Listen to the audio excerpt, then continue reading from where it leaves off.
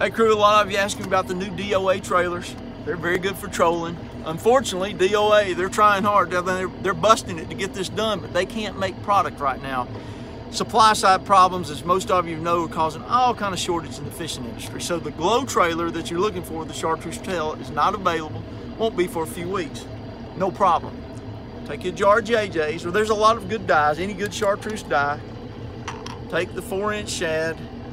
It's not a glow bait but now it's got a chartreuse tail. I've been fishing it. It's gonna fish as well as any as the glow bait.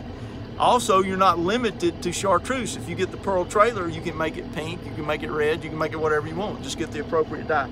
So there you go. Now you got a chartreuse glow trailer.